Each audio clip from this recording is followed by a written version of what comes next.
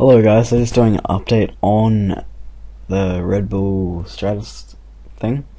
Uh, so up here we've got the 22 minute countdown, which is pretty exciting, so it's only 20 minutes. I'm not sure what's going on because on their little video they said it's about an hour or half or so. Uh, but we're on a red line, we're on weather hold due to winds at 700 foot, the top of our feet, sorry, not foot. The top of our giant balloon. Next update expected soon. Launch not possible before 7:30 MDT. So, mm, mm. so this is counting down. So it'll be 11:30 for me, and they'll, I'm guessing they'll update this and tell us what's going on. So if you come to RedBullStratos.com, you can come to their website, join the little thing, and you can just click live over here, watch it, or you can watch the link in the description.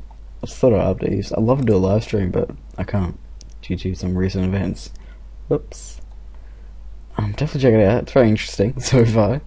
Whoa. So it's got 8.30 now. So that's like two two hours and 20 minutes away. One hour and 20 minutes. Not too good, not too good. I can't wait though. I don't really want to stay up all night to watch it. But what can do? Got 320,000 people watching, which is exciting. And what just went past? Oh, like changing the camera. Anyway, so if you're interested, come check it out. That's about all. Thank you for watching. Have a good day.